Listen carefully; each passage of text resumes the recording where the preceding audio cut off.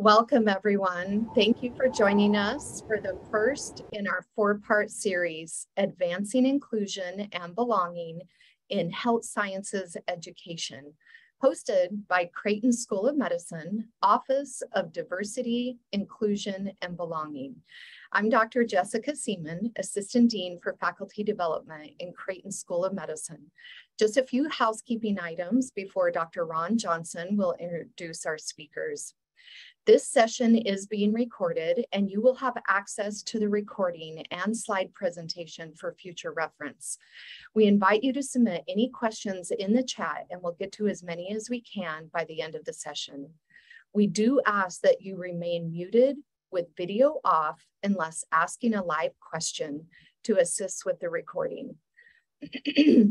Also, this session is eligible for CE credit and you'll receive the website and activity code before we conclude. There is a short survey associated with the continuing education and we thank you in advance for providing feedback as we continue to build robust programming for our faculty and staff here at Creighton.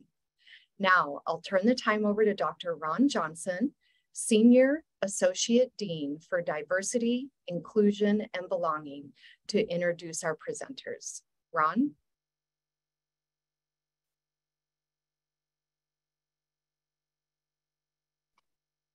Ron, we can't hear you. Can you unmute? I'm sorry about that. Can you hear me now? Yep. Great. Thank you. Thank you for your attendance at this grand rounds. We also want to thank Dr. Jessica Seaman and our two amazing presenters, who I will introduce in just a moment. Uh, the Office of Diversity, uh, Inclusion, and Belonging is committed to advancing inclusion and a sense of belonging experiences within the School of Medicine. And in this case, we're keenly aware of, of and we're quite sensitive to academic, medical, cultural, climate issues that are reported by our historically marginalized groups here. Uh, and they have consistently told us over time that they do not feel heard, included, in the or experience a sense of belonging. So when it comes to diversity related issues, the Office of Diversity, Inclusion, and Belonging is committed to making inclusion and belonging visible in the School of Medicine.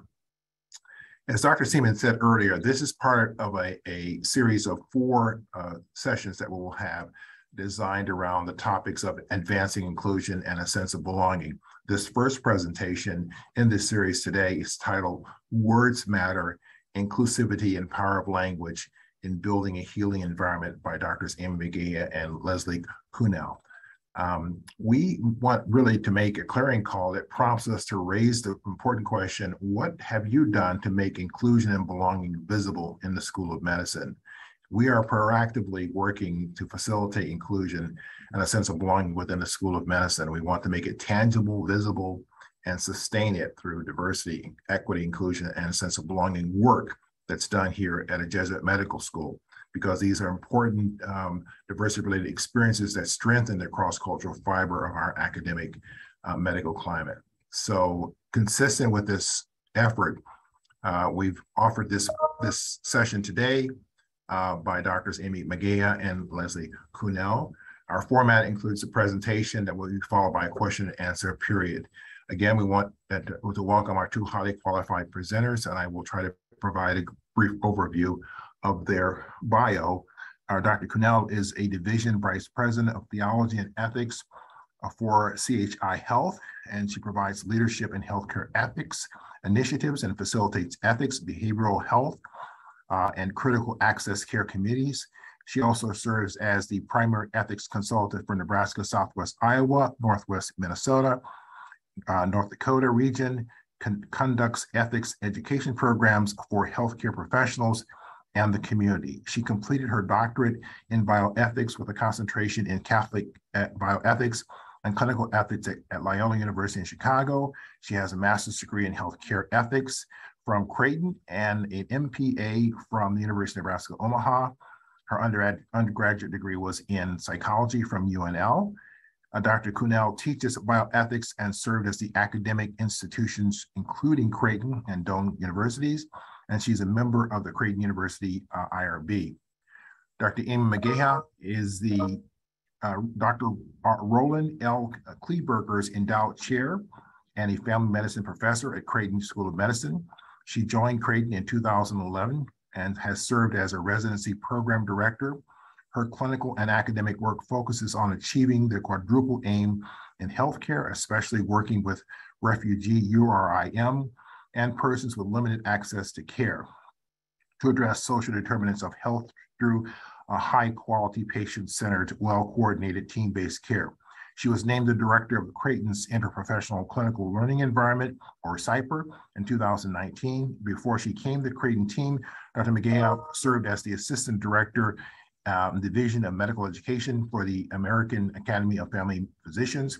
Her work with AAFP focused on medical student interests, workforce development, student resident scholarship development. She also founded a college scholarship program for uh, individuals from her hometown. Uh, she completed her medical school at University of Missouri Columbia and residency in Florida. Without any more delays, I'll turn it over to Dr. Kuhnel. Thank you. Well, good morning, everybody. And I will turn this actually over to Dr. Vivekanandan to go walk us through the uh, beginning parts of our program on what you'll expect today. Yeah, thank you. Um, um, Cassie Eno, she's going to be um, presenting some poll everywhere questions. If we can stop sharing, Leslie, that's possible. And then Dr. McGaha and Dr. Kuhnel will present their content.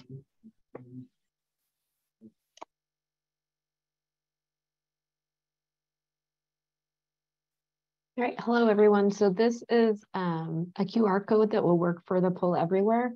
Um, if you'd like to get that pulled up on your phone, I'll give people just uh, about 30 seconds here to to pull that up. There'll also be instructions on the next slide. If you just have a, if you have a computer and you don't want to use your phone, um, there'll be instructions on the next slide.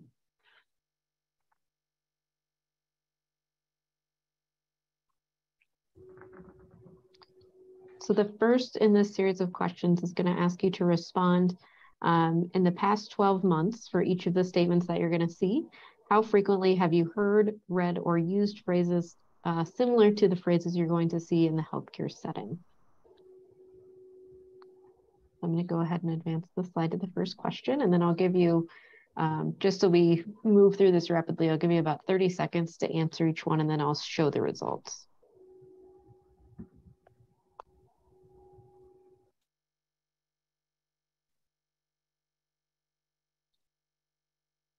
Cassie, this is Maureen Tierney. Does the she refer to a colleague, a student, or a patient? It could refer to any of them, just whether or not you've heard them within the healthcare setting. Okay.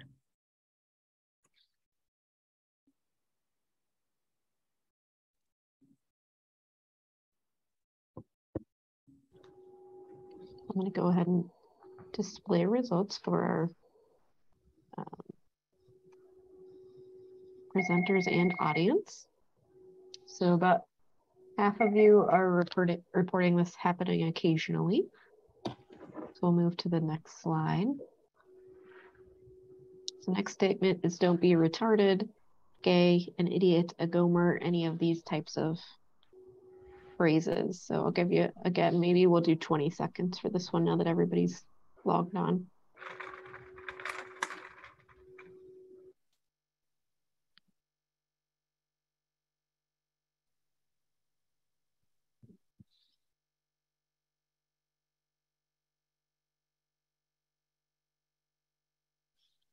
And then I'll display responses.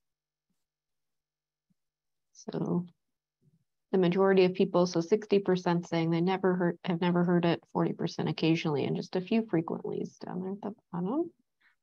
Okay, next statement is he's non-compliant. Again, about 20 seconds here.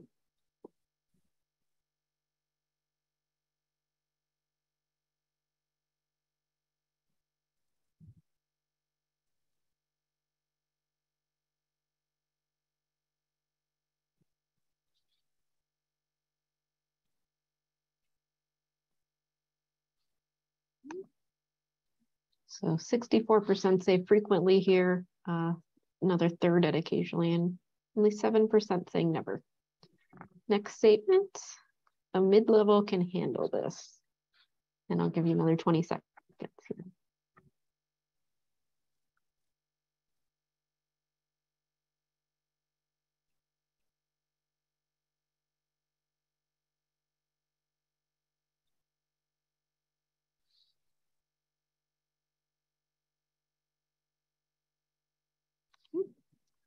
And responses, oh, about equally split between never and occasionally, 13% um, saying frequently.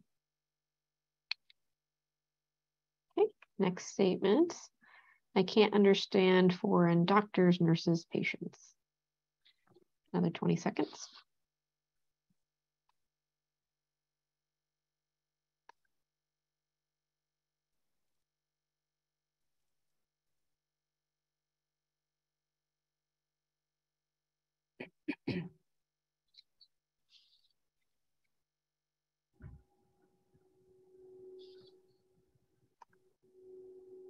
and I see 60% uh, occasionally and then equivalently split about 20% at never and frequently. Um, I did see a question in the chat about the QR code. I'm not going to flip back to that screen, but you can use the instructions at the top of the screen to join the poll. Um, next statement, she is refusing care.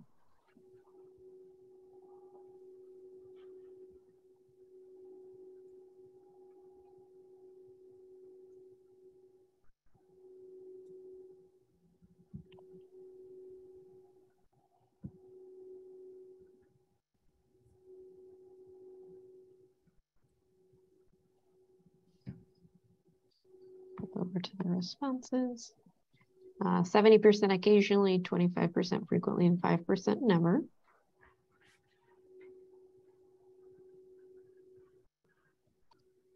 He's a DNR.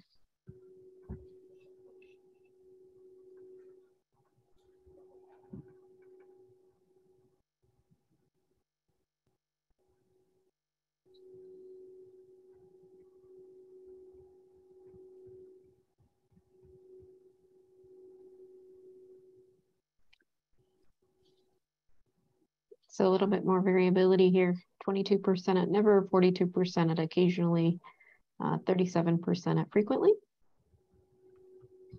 And then a few additional questions. Um, so not responding to the previous prompt. So these are just uh, a few additional perception questions. So I work in teams that use inclusive language to make all team members feel valued.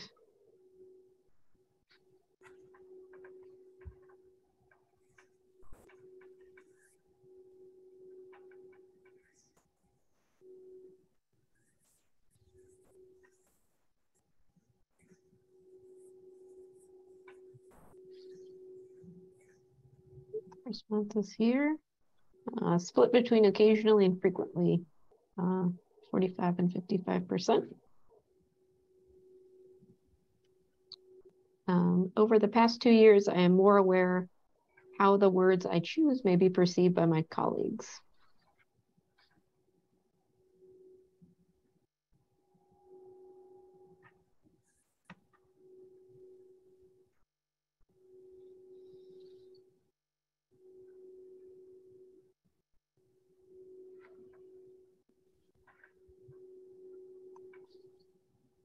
right, 55% agree, 41%, or sorry, 55% strongly agree, 41% agree.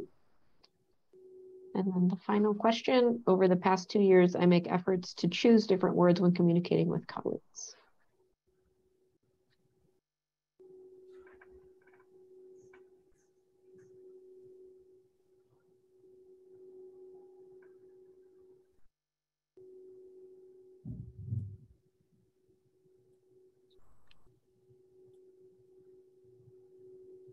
Share the responses here.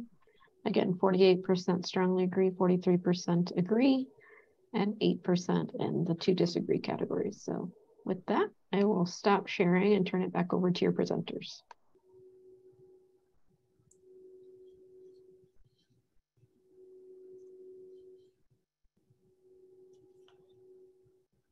All right, is everyone seeing the screen of objectives? Yes, we are.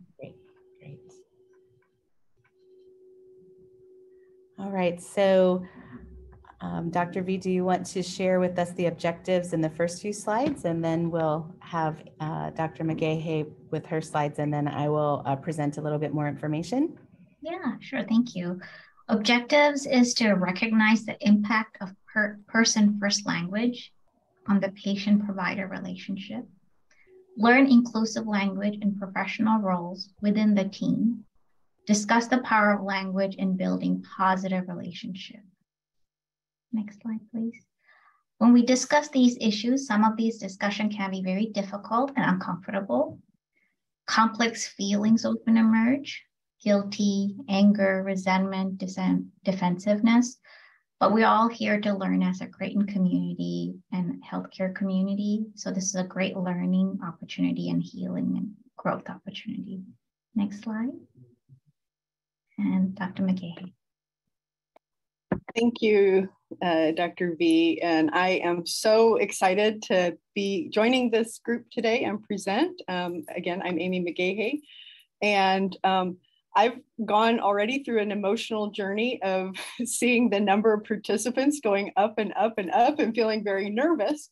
Um, but this poll was actually very, made me, um, I'm in a very happy place now because what I'm seeing is that most of us are, are really kind of where I feel like I am. Over the last two years, I am even more conscious of where I am, of, of how important it is, of how I choose my words. And I'm making more of an effort to choose my words more carefully. So I hope that that's really the conversation that we can have today is that we're more aware of how important our words are and that we're making more of an effort to choose our words today. So um, I think that Leslie and I will hopefully give you some, some great information to, to take with you. Um, starting with the wisdom, I am not the, the person with the theology background, that's Leslie, but um, I can rely on the wisdom from the book of Proverbs. And I want to recognize my wonderful colleague, Dr. Noreen Rafiq, who gave me some words from the Quran. Um, but uh, a good word is like a good tree whose root is firm and whose branches are in the sky, yielding its fruit in every season with the permission of its Lord. And death and life are in the power of the tongue, and those who love it will eat its fruit. So, um, right now, I'm in the middle of getting all of my great fruits and vegetables from the garden at the end of summer. So, so thinking about the words and, and the power of um, language and, and how it's the fruit of life. So, next slide. So language is the defining element of any culture and healthcare is a culture and actually cultures within culture and healthcare has its languages. And so as we're talking today, thinking about the power of words and how we can choose those words to shape what we're thinking and, and actually how the words themselves shape what, what conversations we're having. Um, next slide. I'm always fascinated when I, I love these li- lists you'll see in BuzzFeed or different articles where it has the words that there's no English translation, and especially when it's a word that's an emotion. So there's some emotion that doesn't have an English translation. And I think, you know, there's always that that Schadenfreude, right? So you're driving down the road and this car speeds past you, zipping in and out of traffic. And then you get up ahead and you see that the, the police officer actually got that person and they got pulled over and they got a ticket. And you feel that joy of seeing the trouble of that person got, right? So there's the German word Schadenfreude, right? So there's this idea that there are words sometimes for emotions that, uh, that, that sometimes we don't even have a word for emotions, but in other languages, you can have a word to express something that we don't necessarily even have a word for. So, so I've always been fascinated by this idea that I don't even have a word for an emotion, but there is a word out there that might express that. So just a few fun little words. Hygge, I don't, I don't know if anybody speaks Danish, but um, at Christmas time, uh, enjoying food and drink and associated with coziness, that there is an actual word to describe that feeling. Um, next slide. A number of years ago, I read a book um, that uh, was really interesting to me, and it, it described um, a group of people, um, the Guugu Yimithirr people, and they live in the far north area of Queensland, Australia. And this group of people, they don't have words to describe left and right.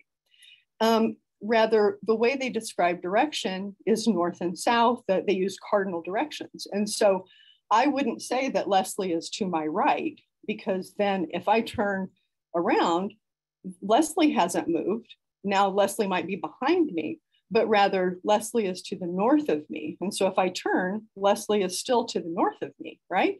And so um, this is a group of people who rather than keeping their orientation based on sort of where i am they're keeping their orientation based on the sort of spatial orientation of uh, the cardinal directions. And so, guess what?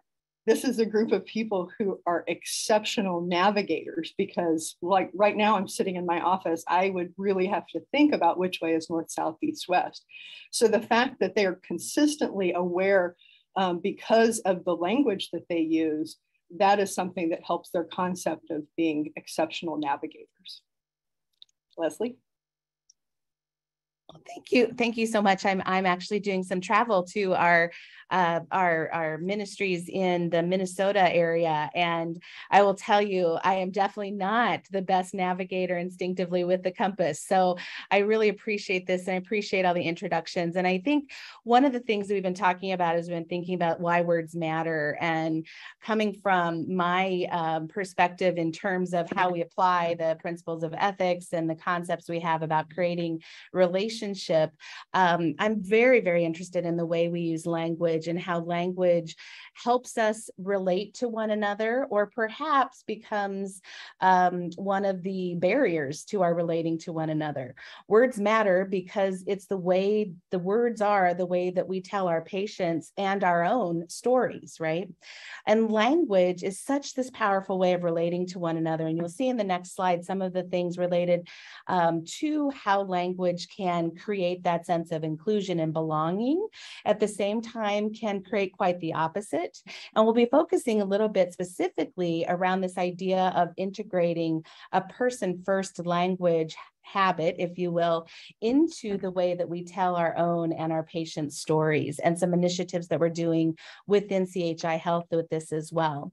And I want to thank Creighton for the um, invitation to all of our providers and ethics committee members and so many that are joining um, in addition to Creighton faculty, but are joining from our, our Common Spirit and our CHI uh, partners as well to engage in this conversation. And, you know, I think the, the thing that I think about when putting this together is that really this sense of how we we perceive ourselves and others, um, how people perceive themselves based on the language that they hear about or the ways in which they are described how we perceive ourselves in relationship to one another, and the importance of how the language we use really does uh, set the tone for what's going on, um, Im impacts and implies the stance that we take. And the words that we use really are important in terms of how we think and talk of and about and to others. And in particular, of and about and to our patients or those with whom we serve in my section. And then our colleagues in the piece that Amy will be talking about in just a little bit. Um, and I think this is especially true as we focus on this patient care setting because of this very thing that we mentioned earlier in the slides. There is a medical speak of our own healthcare culture. And I know for me, thinking about one of the ways I was trying to fit in when I first got into the world of healthcare ethics was to adopt the norms and the language I was hearing and to use those phrases that could help me better communicate quickly, but also assimilate to my colleagues in a new context in which I wasn't quite so familiar. Um, they're the shortcuts we've adopted to share information. We know by a simple phrase instead of multiple paragraphs what we mean when we say certain things. But we have to think about how does that imply or what stance do we mean and, and what different impacts does, does that have? We think now, especially in terms of language, in terms of the medical records, where we capture what happens and where we tell those stories over and over to each other within that medical record, for example. We recognize it's especially true because of the power differentials that exist between colleagues and providers, between um, uh, care team members of different disciplines, between uh, patients and their care teams. And then we also think about and, and want to pay attention to the where. Where do the conversations take place? and how the ways in which we use language in terms of talking with our patients or talking about patients in our break rooms or talking about patients, writing about patients as we use documentation, those sorts of uh, contexts make a difference in terms of the stories that we tell. So I want you to consider this case, and I want you just to kind of, if you will, you can close your eyes and think about uh, your image of this patient as I read this description. This might be something you would see charted in a record. Um, this unfortunate 43 year old homeless Black sickle cell female presented to the ED. She is drug seeking, allegedly has severe pain, and is demanding IV pain medications. She is a bipolar, a non-compliant with her psych meds. She is belligerent towards staff. She's a frequent flyer and is again refusing to leave until she gets her narcotics. All right. So the questions we have is is is just asking, do you have a picture in your mind of this particular patient? Do you know patients like this? And kind of similar to what we asked in our polling questions, have you seen, heard, or read words like this to describe our patients, the ways in which we communicate with each other? So when we think about this and we kind of move on to that, we want to think about how the stories that we tell in the medical settings are powerful in a sense, especially when in this case it would be around documentation, for example, or perhaps a description in a short rounding or handoff communication. These stories perpetuate from one person to another. People get pictures in their minds based on the words that we use. I may never have met the person, but if I'm giving that communication to my handoff coordination or reading that in the chart, I've already got an idea of the person's story, which may or may not be accurate, right? These kinds of words tap into our experience, our assumptions, our moral imagination, if you will. And they're influenced so much by our own bias, by stigma, by social norms, um, by stressors, um, all of the things that are involved, right? And the question is are they really telling the real, unique, individual story of the person in front of us at this moment in time? And most importantly for us, when we think about our, our mission and our values or our, our Jesuit values that we try to bring forward or common spirit, um, do they demonstrate compassion, respect, curiosity, and kindness? right? So this idea of bringing in person first language, which would mean reading something very different or sharing something a very different way than we just read and heard in that example, is not new. And it's an important thing to be thinking about, right? Person first language is something that we've started to talk about, and you'll see in the next slide some uh, history of this. But what it really means is that uh, the terminology we use to promote human dignity by characterizing the person before the condition or the descriptor, right? We first see the person in front of us. And you'll see in this great article, I was astounded by this estimate. Maybe it's low, maybe it's high, um, that health healthcare professionals can have as many as 150,000 patient interactions during their career. That's 150,000 opportunities to tell the story and to hear the stories of another person. And that we want, as we know from the basis of this entire series, that we want that communication, not just with patients and providers, but with all of us in healthcare professions to be respectful, inclusive, and encourage equitable participation and that we know and this article points out that not using first person language is is very um, impactful as well. It can lead to poor patient outcomes cause mistrust and patient errors, decreased satisfaction, poor adherence to treatment, which I will always say I tripped over that quote for reasons that we're talking about, but that's the quote from here, um, wasted resources and increased healthcare costs. And you can see here, um, pulled from this article, the, the whole idea of this is uh, creating that inclusive culture of, of equity, inclusion, of trust, to do that as a way that not only um, demonstrates our values, but is also very much a part of um, ensuring safety and uh, making sure that the care we give is the best care that we can. Now we'll see this. It, it, the the concept of person person first language really came about in 19 early uh, mid 1970s around the disability rights world, and we started to see a lot of uh, conversation about people wanting to think about what their identity was. Um, in 1992, the American Psychological Association did a shift, for example, um, regarding uh, Down syndrome um, people with Down syndrome instead of he's a Downs baby or she's a Downs person, that we started to say a person who has Down syndrome, right? So that kind of thing. And, and an, an important one for me and, and a fam, and my own family's experience um, with my niece. Um, in 2009, an effort in San Antonio, I believe, on a camp college campus, started by students to say, we want to uh, campaign not to use the R word in a derogatory way and advocate for inclusion. They had their initiative was called Spread the Word to End the Word um, of, of not using retarded in the uh, derogatory way that it might have been used before. And in 2010, federally, uh, that word was was removed from all federal documents as a part of Rosa's law. Rosa's sister, when when talking about this, uh, points it out very well. What you call people is how you treat them. What you call my sister is how you will treat her. If you believe she's retarded, it invites taunting and stigma. It invites bullying, and it also invites the slam doors of being treated with respect and dignity. And I think when we're talking in terms of the context and where we see and hear these words, it's so important to be thinking about this, not only when we're talking to somebody who is present, but also when we're talking about or with others in relationship to that person. Um, what we say behind closed doors matters as much as what it does when we say things in front of someone.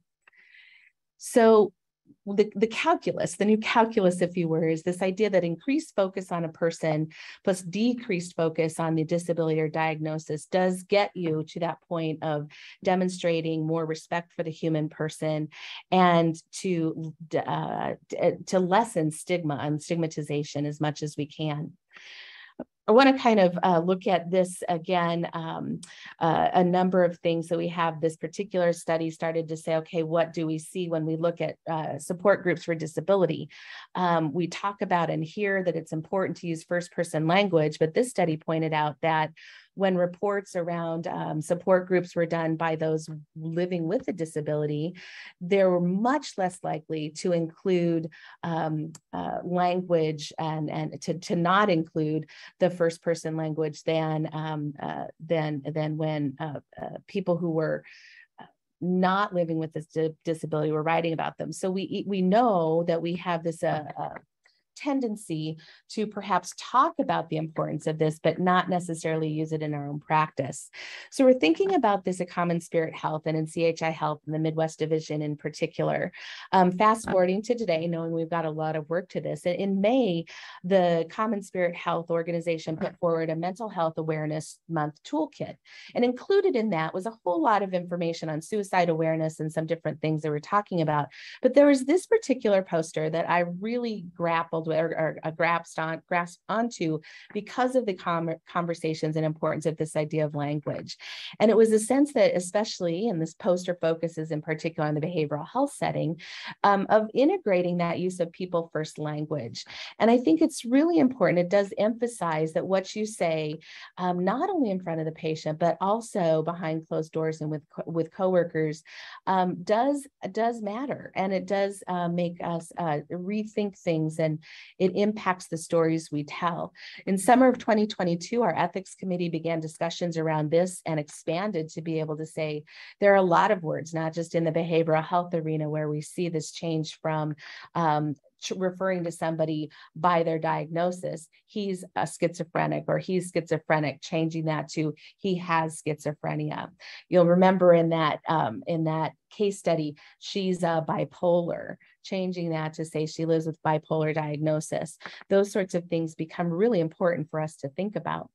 Um, we're having discussions now with key stakeholders to incorporate that in practice, to think about when we hear and see and read, um, other than first per person, first language, how do we shape and shift that so that we can start to make an impact on the culture, um, the impact on that language that we use in a day to day basis to model this, to uh, uh, think about the stance and the tone that we set, and to demonstrate our respect for persons and our compassion and our inclusion by incorporating people first language where we can. Um, I will tell you too, the awareness of language in all settings, even by having these discussions, I know for me, I've started to notice more and more and more all the time. And um, in so many different settings of how we can incorporate and think about the different kinds of language that we use and move towards this. Now I want to do a little chat uh, function, a little chat uh, interaction with you. So if those of you who would be interested in participating, we are um, putting together sort of the, um, the examples of person first language and things we can exchange for those so that we can start to give people references, things of I, I, I want to I want to do better, but how do I shift? What's a better way to say something? Um, what's a better way to interact with a person in terms of language and to demonstrate this respect? And so we have examples here. Um, frequent flyer is one of those words that I'd love to, or phrases I'd love to never have us use again.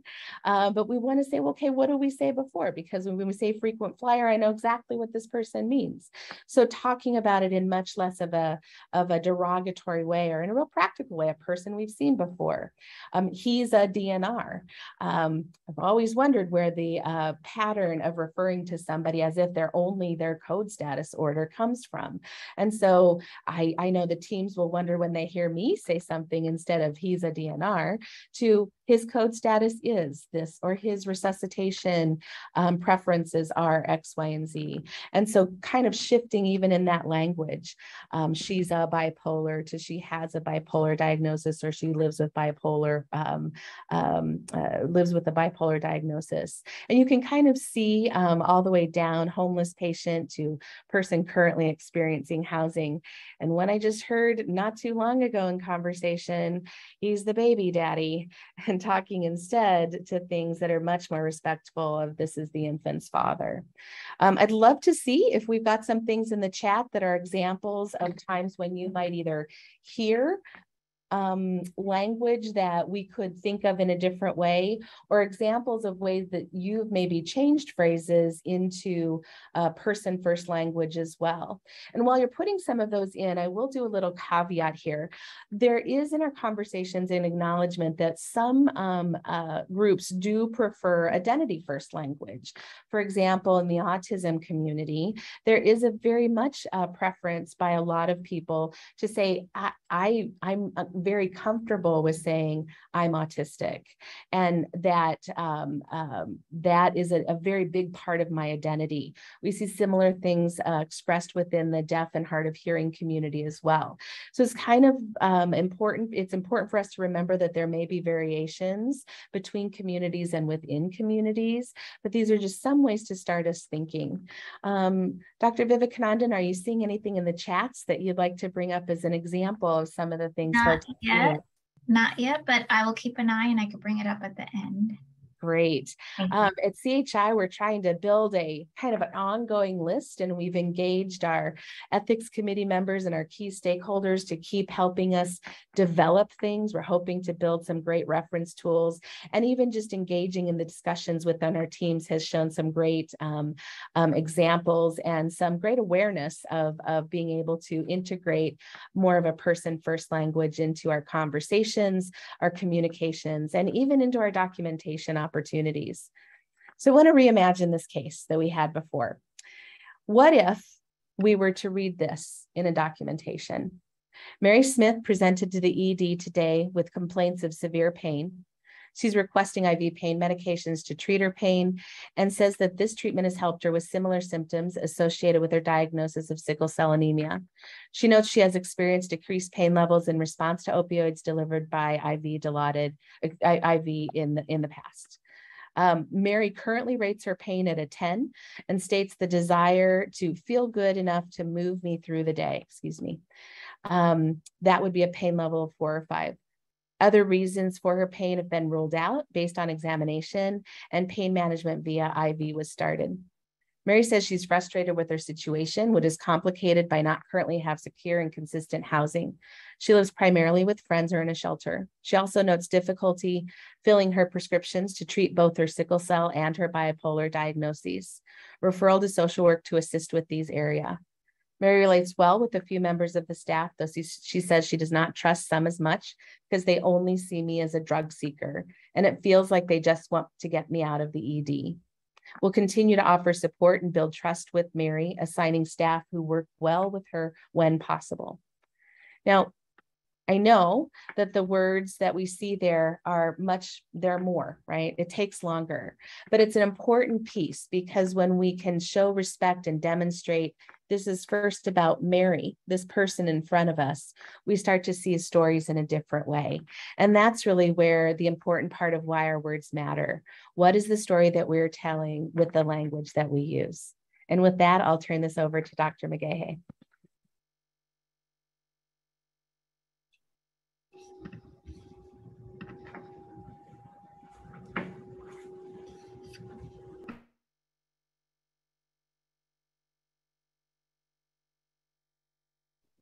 Thank you, Leslie.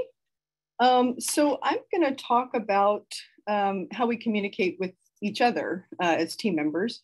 And um, slide. Uh, some of you may recognize this person. Uh, George Carlin was a, a uh, comedian, and one of the things that he would talk about was this idea of good words and bad words or dirty words. And we're going to talk a little bit later about um, this idea of some of the words that are sort of words that we should avoid um, in uh, communication with each other. But the quality of our thoughts and ideas can be are as good, only as good as the quality of our language as we're using with each other. So um, I have I have come to this conversation with Dr. Johnson and Dr. Vivekanandan um, a lot of this, I'm not, I don't have expertise in inclusivity and language and teams in general, um, but a lot, a lot of this has come from my uh, uh, experience from different um, opportunities I've had in service and conversations that have come to me. So I'm, I'm coming to you from the literature and the studies and research I've done based on some of the experiences that have come to me. So a lot of the conversations that I've had with people have to do with characteristics that are ascribed to different people on the team and how, um, how that conversation has come about. So if you look at sort of the different people you might think about you're encountering on the team and and who is a difficult person or who is a competent person or who would you describe as strident or quiet um, so one of the studies uh, that i had looked at was um, this actually came from the tech literature. So um, there was a, a, a, they looked at the evaluations, the performance evaluations that were done of 248 performance reviews in tech companies. And these were done by both male and female managers. And so when they went back and they looked at how different employees were looked at, the word abrasive was used 17 times to describe 13 different women. Um, the word abrasive did not appear in the men's reviews. And characteristics of personal characteristics were not included in the men's reviews, but it was included in the women's reviews. Um, men's reviews did include uh, critical feedback, such as, you know, uh, constructive feedback, such as you should have gone into more details into some of your projects. And the women, 89%, excuse me, 87.9% uh, of the women received critical feedback. Um, it did have constructive feedback, but there was also personal feedback, such as watch your tone or stop being so judgmental. And so just being aware of how this dynamic um, may exist is something that we can look at as we're looking at how we interact with each other um, and that this is a dynamic that can exist in any workplace.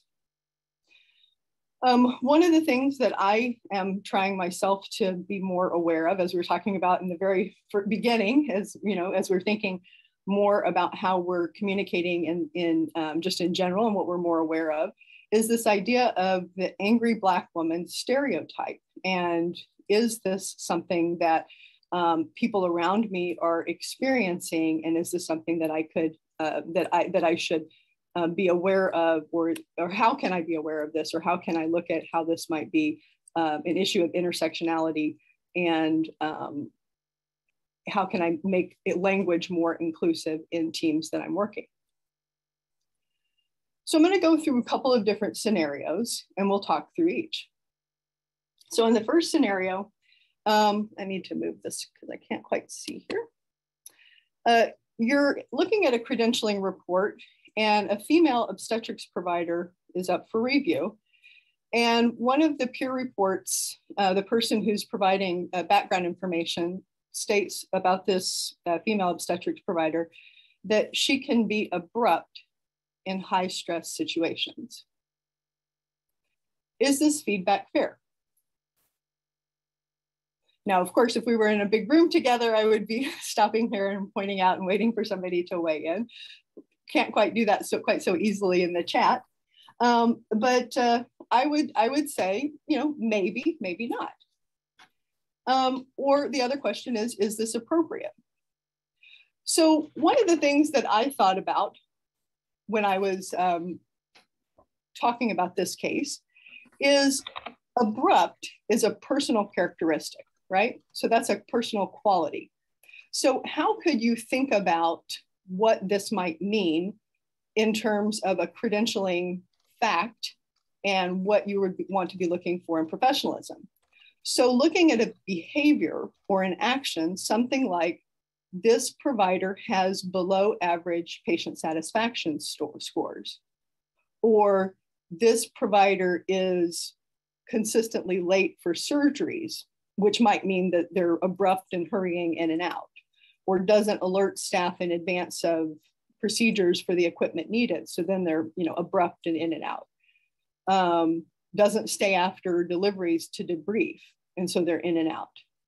But simply saying abrupt is a per personal characteristic and in high stress situations. And so um, and there's a lot of places in medicine where high stress can come in, and certainly obstetrics is one of those places where things can be very stressful. And so the question that I would ask in terms of is this appropriate is do we ask this question of everyone? So if you're asking this question of all persons who are coming forward for credentialing, is this person abrupt in high stress situations? That would be the lens that we might want to look at this through. So next scenario. You return from vacation and the manager pulls you aside to express concern that while you were gone, one of your newest team members, a Black female physician, had an interaction with the staff where she was aggressive and got all up in their grill during your time away, you had not received any messages from the physician about an incident of concern. What is your next question for the manager?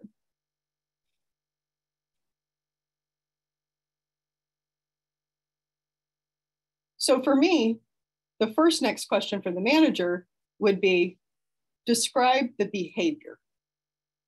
So describing someone as aggressive is again, more of a characteristic but what was the actual behavior? What actually happened? Was something thrown? Was there yelling? What was the actual behavior that happened? The other thing that was interesting was that for this to have been an aggressive, you know, sounds like quite a kerfuffle, for this to have been an aggressive situation and nothing was reported in the interim, then why was this perceived as aggressive? And the physician certainly did hadn't reported anything. So there seemed to be a disparity in the perception of what had actually happened. One person may have perceived this as aggressive or uh, uh, as something that was very serious and one person just perceived this as maybe a misunderstanding so describing the behavior and the second question was has similar behavior happened before with other people and in asking that question, it actually had happened before. And the behavior had happened, and it was a patient advocacy about um, some policies related to visitation and um, uh, patient visitation and guests in the hospital. And other providers who had advocated for the patients were seen as champions for the patients, and this person was perceived as aggressive.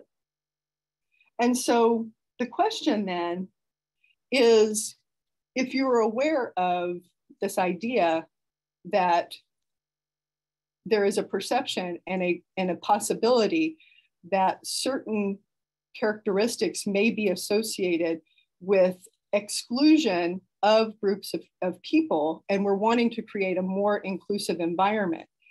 Is there an opportunity to say there are certain words that we're not going to use unless we can demonstrate a specific fact. So we're not going to use the word aggression or aggressive unless these criteria have been met. And so that's a conversation that could potentially happen. Dr. McGaha, uh, there's some comments and Chaplain Crystal Williams said, my experience is that aggressive is often used when Black women um, is not docile. It is also used to describe when a Black woman gives feedback that is viewed as inaccurate or feedback that is not welcome. Yes, thank you so much for that. And that's that's certainly that's I, I hope hope that's the, definitely the communication here is this idea that um, that that it was perceived as aggressive, but certainly that's not the behavior that was exhibited. It was not aggressive. It was, I'm not happy about this. And other persons have not been happy about this policy. And they were seen as champions, um, but this person was not. So thank you so much for that.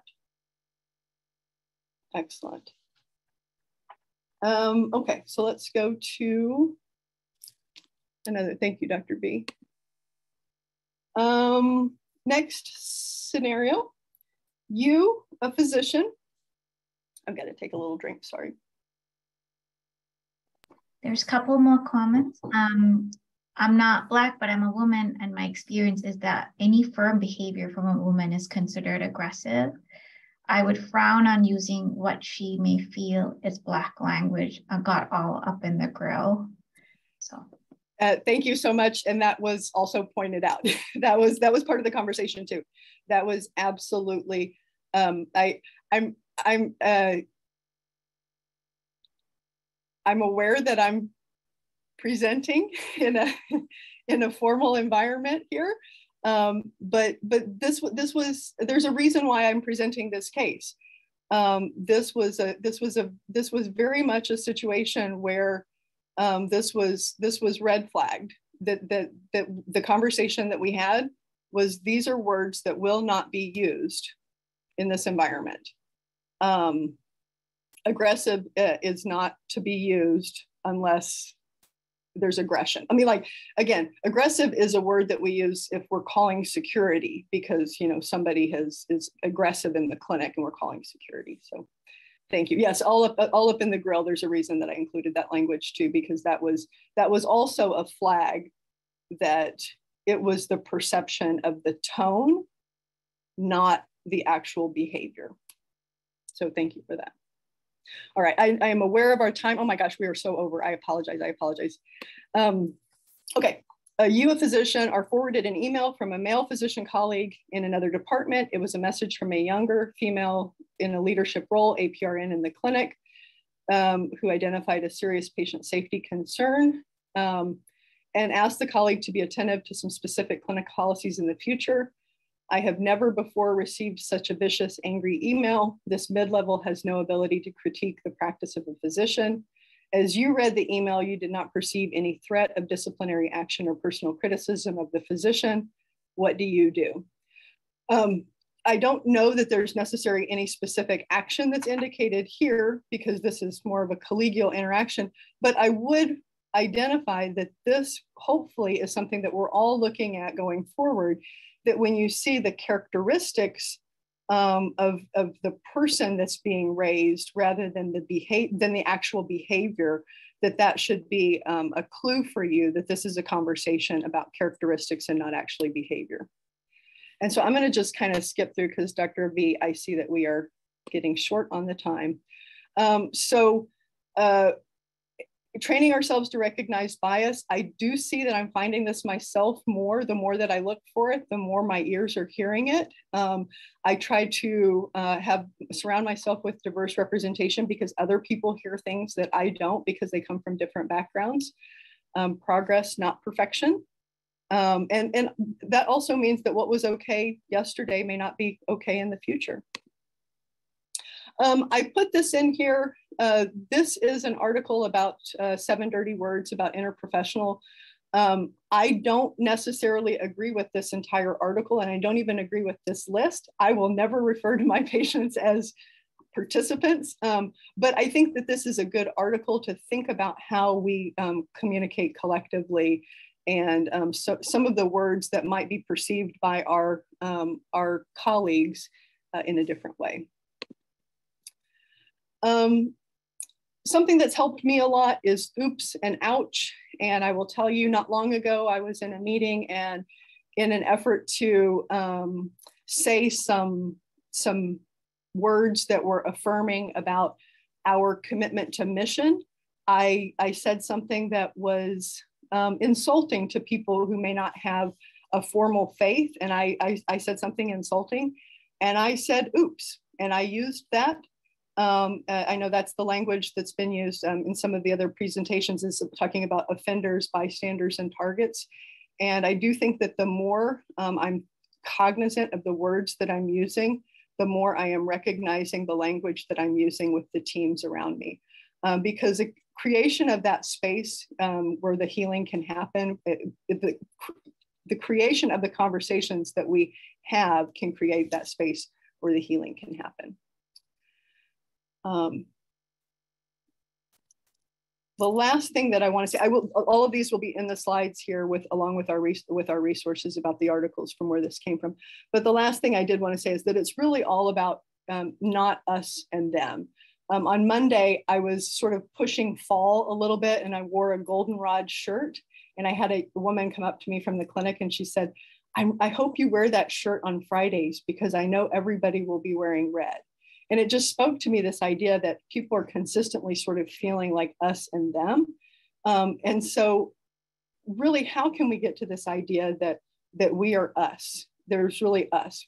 It's not um, different members of the team. So the physicians against the APPs, against the nurses, against the, the different therapists or patients against the healthcare team. It's how do we create the, the language that keeps us together as a team? Um, focusing on when there's conflict, focusing on the behavior and not the characteristics, um, being aware of how your language can reinforce the power gradient versus how your language can open up for conversation. So uh, again, Dr. V, I'm sorry I went over a little bit there. You're totally fine, Dr. McGaha. Thank you so much, Dr. McGaha, Dr. Kuhnel, for this wonderful presentation. There has been a lot of chat going on in the chat box as well, but we open it up to questions um, from anybody in the audience. And Dr. Johnson, would you like to make any comments?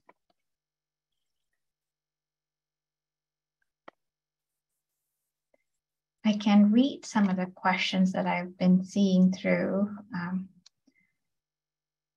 um, some of the comments are um, identity is very important to specific groups. For example, not all uh, do prefer to be described as a deaf person, while many others do not. They are, they are people with hearing loss, not hearing impaired.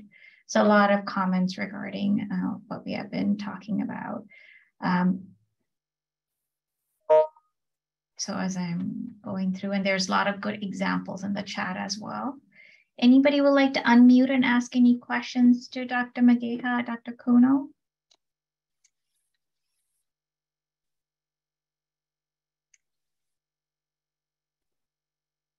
Dr. Johnson, are you able to make a few comments?